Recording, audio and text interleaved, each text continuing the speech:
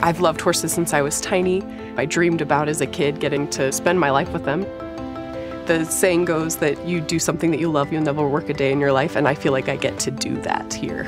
We board, train, show, coach um, about 40 different horses and riders. We're in a rural area on the outskirts of Parker, Colorado, and that also presents some unique challenges as well.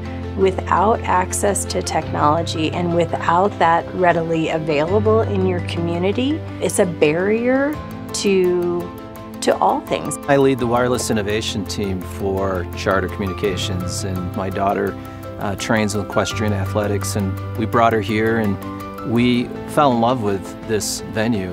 It became obvious that this was a great opportunity to demonstrate a lot of the Internet of Things technologies that my team's been investigating here at Charter. Charter was on the cutting edge, providing us with the opportunity to try those different technologies and innovations. We'd like to see how this actually works in a true life environment. We used 5 gigahertz point-to-multipoint technology. We utilized the Charter's fixed wireless access test network and long-range wide area network. We deployed sensors to monitor the farm. Inside the farm, you connect the sensors.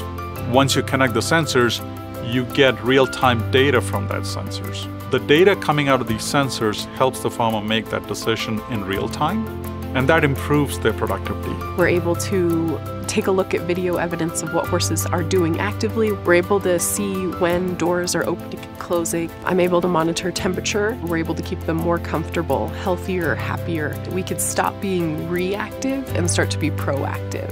With the wireless technology, we have given the farmer the ability to monitor not just the farm, but the horses round the clock.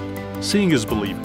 Charter thinks about how connectivity can transform businesses and environments. By expanding internet throughout the property, we're adding additional wireless technologies and sensors that make it better for the animals. We use different access technologies. It could be 5G, it could be uh, Wi-Fi, it could be LoRaWAN, when you create the combination of these technologies, it leads to the benefit and the improved productivity of these farms. I'm excited to grow our client base, to communicate with other people out of our direct community. Charter Communications has learned that connectivity can come in many forms. Moving into these new wireless arenas just helps us extend that connectivity experience further. The culture of Charter is open to innovation and open to progress. There are so many ways that you can see things like this become impactful for people. And I'm really excited to see how in the future, Charter can start to take that to other communities, rural or not.